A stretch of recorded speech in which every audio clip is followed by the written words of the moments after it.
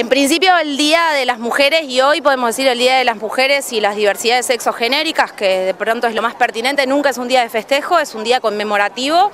de todas aquellas mujeres y disidencias que, han luchado a lo largo de la historia eh, y que en muchísimos casos han, pagado con su vida el costo, digo, las mujeres obreras eh, que terminaron al interior de una fábrica incineradas. Eh, como caso icónico, digo, pero de esos montones. Eh, estamos en una coyuntura en donde no paramos de sumar femicidios, en donde a pesar de la implementación de determinadas políticas públicas, no solo no cesan los femicidios, sino que vienen en aumento. Eh, si cabiera la posibilidad de celebrar, hoy lo que podemos celebrar es que es el 30 de diciembre, gracias a la lucha de las, colectivas de mujeres y disidencias, de los últimos 15 años como mínimo, digo, pero una historia que se remonta hace más de 40 años atrás. Peleamos por la ley de aborto legal, seguro y gratuito, y que hoy la tenemos. Celebramos eso en algún sentido, a pesar de que no fue la, ley que, esperamos y que se construyó colectivamente desde Ushuaia hasta La Quiaca durante 15 años, todas las organizaciones nucleadas en la campaña nacional por el derecho al aborto legal, seguro y gratuito. Aún así es una batalla que no termina porque el proceso de implementación no es sencillo eh, y, nos toca hacer una gran labor para, la garantía de ese derecho todavía. Vemos acá mismo, en nuestra ciudad, en Salto y en este momento, eh, ¿no? diferentes direcciones. Digo, está la educación, está la política, eh, hay representantes también, digo, autoridades municipales. Cuéntenme, en base a esto y en base a lo que significa el día de hoy, ¿cuáles son las actividades que se realizan o que se prepararon para el día de hoy? Bien, bueno, eh, me bajo un poquito. Eh, bueno, en principio vamos a tener un taller, eh, que la idea de estos talleres y de este encuentro en sí es, participar todos y bueno, y ver si, llegamos a acuerdos y si compartimos información, hay muchas veces que falta información, entonces bueno, compartirlo entre todos, entre las áreas que intervienen, entre la parte de la sociedad civil, las ONGs y todos los que hacemos, los que trabajamos en acompañamiento, y bueno, y sobre todo trabajar desde el acompañamiento amoroso, que eso es algo que vamos a hablar mucho ahora y que es el mensaje que me gustaría dejar también, eh, porque bueno, siempre escuchamos, no, esta porque es, esto, es lo otro, no, mirá, pero mirá lo que le hizo, ah, no, ¿cómo no le va a pegar? No, o sea, uno nunca sabe la raíz de, los problemas, nunca sabe las historias de las que vienen. Y eh, la verdad que bueno, tenemos que empezar a querernos más entre nosotras, a unirnos más entre nosotras. Y a nosotros nos parece que es un pilar fundamental para empezar a erradicar este tema de violencia. Igualmente las masculinidades también,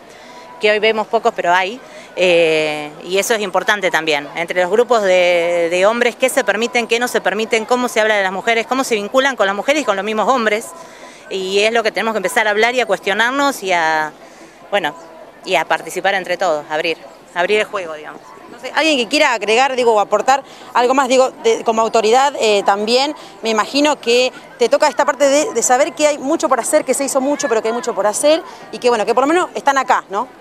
Sí, un poco acompañando las palabras de Gaby de Siu, primero retomo lo de masculinidades, yo creo que hasta los varones no entiendan primero cuáles son sus privilegios y después que se pongan a, reverlos y a trabajar sobre eso, va a costar muchísimo el acompañamiento amoroso de lo que estamos hablando. Creo que las mujeres avanzamos bastante en ese sentido, mujeres y disidencias, pero que a los varones todavía les falta y eso es algo que al menos desde, desde la oficina tenemos que empezar a trabajar fuertemente. Siempre va a faltar porque esto es una problemática que es social, que es cultural, que es histórica, pero yo si tengo que celebrar como hablaba Siu, celebro la, organización, agradezco que podamos estar trabajándolo juntos, con nuestras idas, con nuestras venidas, con nuestras propias contradicciones, eh, valorando el recorrido del, colectivo a nivel territorial que vienen años trabajando, sumando a eso y sumando nuestro saber profesional y las herramientas que tenemos desde el Estado. Esta jornada, la del miércoles que se va a dar en la diagonal, que supongo que las chicas también van a acompañar, donde vamos a trabajar sobre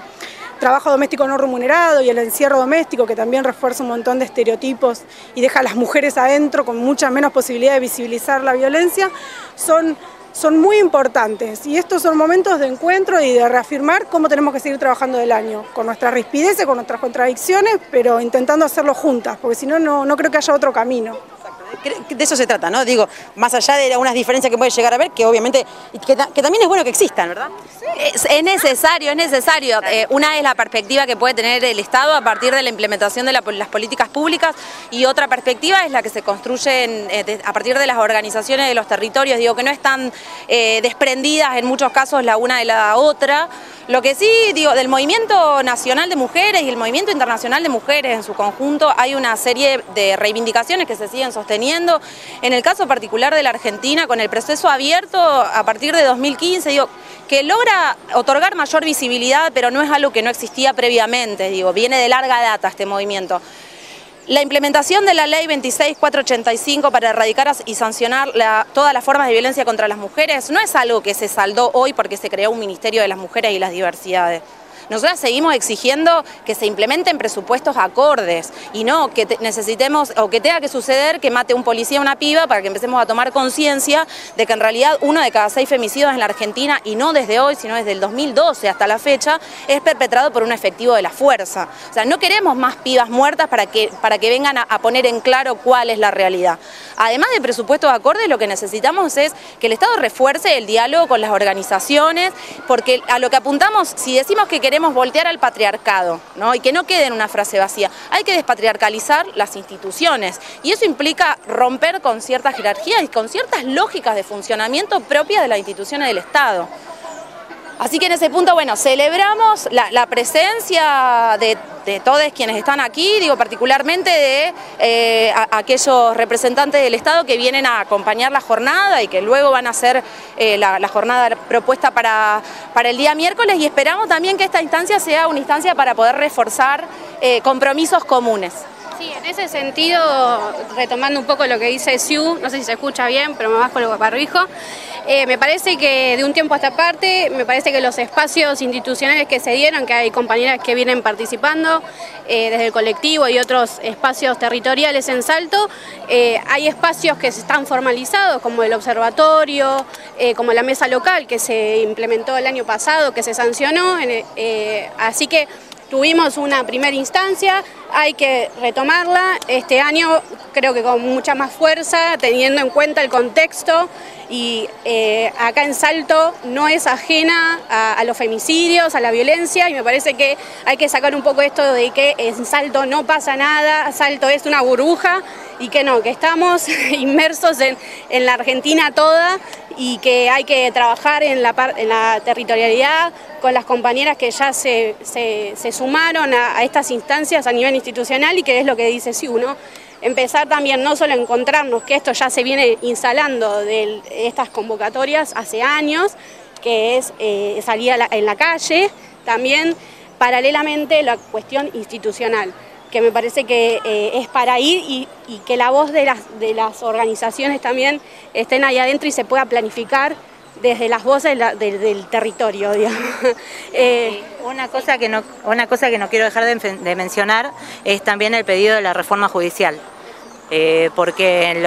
los que estamos, obviamente que los profesionales lo saben también y lo sufren, pero los que estamos en la calle y estamos acompañando vemos que hay muchísimas veces que es insuficiente las medidas que se toman, es insuficiente eh, lo, que haya disponibilidad.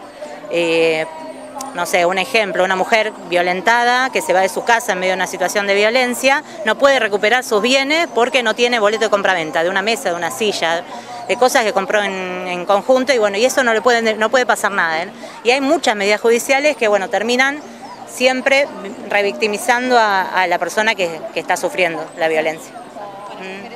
No, que lo que surge en las calles lo toman las organizaciones y lo trasladan al Estado y creo que la gran tarea nuestra es poder estar a la altura de las circunstancias y eso es algo lo que vamos, estamos trabajando y vamos a seguir trabajando porque es lo, es lo que nos toca a mí en la función que cumplo. Pero sería ilógico pensar que existe un ministerio o existe una oficina porque se crearon PUM. En eso el reconocimiento es de las que salieron a la calle, de, las que dieron su vida por eso y de lo que todos los que encargan la lucha, que en general son mujeres, ¿no? Pero que, bueno, y por eso comprometer también a los varones. Pero esto es súper importante, es importante para, y para que siempre nos lo recuerden a los que estamos en el Estado, que tiene otras lógicas a veces, pero somos muy conscientes que surge en la calle, se organiza a través de las organizaciones territoriales, llega la demanda del Estado y hay que llevarla adelante a como de lugar con las herramientas que tenemos. Que, en ese sentido tiene que ser una lógica política, o sea, una, eh, una postura política de, como Estado municipal de, que, realmente tome eso como, como política pública y que realmente profundice y lo lleve adelante y lo concrete. Por eso celebramos, obviamente, en un día, si hay que algo que celebrar, son esos pequeños avances, como venía diciendo yo, el observatorio, la mesa local, estas instancias, y seguir profundizándolas y mejorándolas y que sean efectivas. Gracias.